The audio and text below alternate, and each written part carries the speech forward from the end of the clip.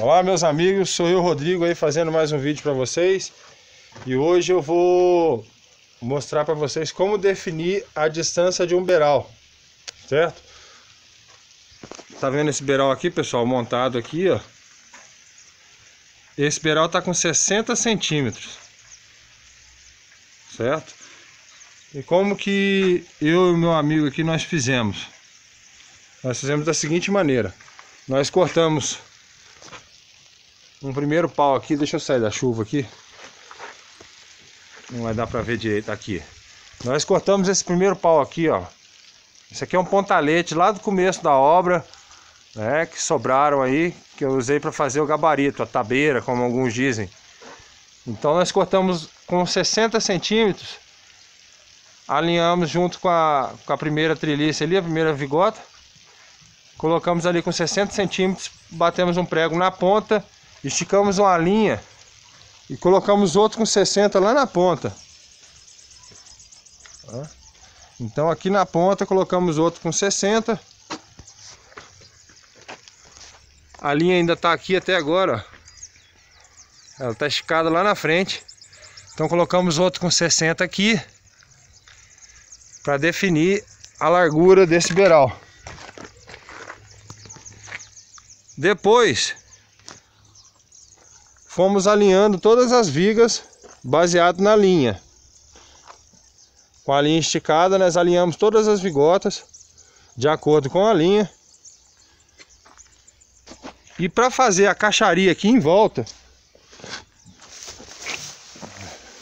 para fazer a caixaria em volta aqui, pessoal, o que, que a gente faz? Uma maneira bem simples. Pula duas vigas, coloca outro pau com 60 pula mais duas vigas, coloca outro palco 60 e vê assim por diante até lá na frente. Depois é só chegar e pregar a tábua aqui, ó, de acordo com a espessura que eu quero do concreto, certo? Então tá feito, é fácil. Vai pregando aqui e depois é só prender por cima um preguinho em cima da tábua para ela não abrir. Legal? Aí tá montado o beiral aí na distância que eu quero. Esse, no caso, tem 60 centímetros. Então essa é a distância definida aí no, no projeto. Nós estamos seguindo. Aqui também, pessoal, o escoramento feito com as escoras de, de ferro, né? Vou mostrar um pouquinho para vocês aqui o trabalho. Escoras de ferro. Né? Cada um metro aí tem uma. De um em um metro. Esse galpão, esse galpão não, essa cozinha, essa sala de estar aqui juntos tem 11 metros e 70 de comprimento. Então nós temos aí várias escoras aí. 11, colocamos 11 escoras assim de comprido. E como tem um vão de 3 metros e 80, se eu não me engano, nós colocamos não, tem um vão de 3 metros. Nós colocamos três fileiras de um em um metro. Né? Dividimos aí, ó, e colocamos três. Certo, pessoal? Então nós estamos terminando agora de colocar os isopor aqui, as caixinhas de luz aí, o suporte. Pra lá, o lado de lá já tá tudo escorado, né? Essa laje do lado de cá já tá tudo pronto, com os canduítes passados. Tudo escoradinho já. Ó. Só ali eu vou fechar depois que fizer a caixaria do lado de fora. Eu coloco a última carreirinha de isopor ali. Pegou bem fininha. Só que não dá pra colocar agora, senão ele voa. Certo? Tudo escoradinho. Escorado, escora de ferro, ó. ó. Amarro todas essas escoras com arame.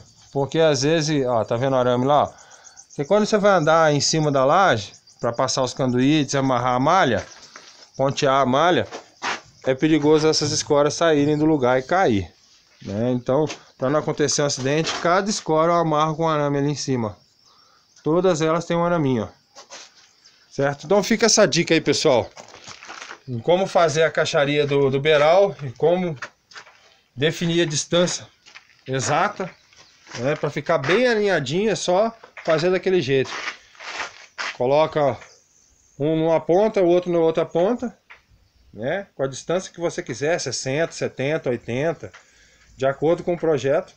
E depois vem colocando os outros para poder pegar essa tábua que vai por fora, formando um caixote. Legal, pessoal? Para poder receber o concreto. Então fica a dica disso aí, fica a dica de utilizar essas escoras aí também, que é bem prático. Hoje nós escoramos isso aqui tudo aqui em cerca de uma hora e meia, duas horas no máximo, né? Que são bastante escoras, é bem comprido aqui o ambiente.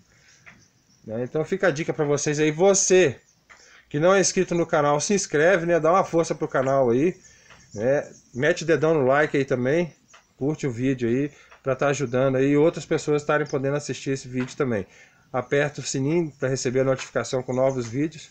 Tamo junto aí, galera. Sempre que eu estiver fazendo uma nova etapa que eu ver que tem pouco vídeo sobre isso aí no YouTube, eu vou estar tá postando aí para vocês. Um abraço, que Deus abençoe todos nós. Hoje é dia 26 de dezembro, né? O Natal foi ontem, então não tem como desejar um feliz Natal para vocês, mas um ótimo ano novo para cada um de vocês. Né? Que Deus abençoe todos nós, podemos ter um ano com muita saúde, paz, né? É, prosperidade de, em vários aspectos, financeira e outros aspectos diferentes. Né? Que Deus abençoe todos nós. Fiquem com Deus.